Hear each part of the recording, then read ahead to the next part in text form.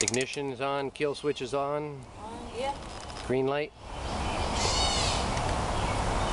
Green light for neutral. There you go.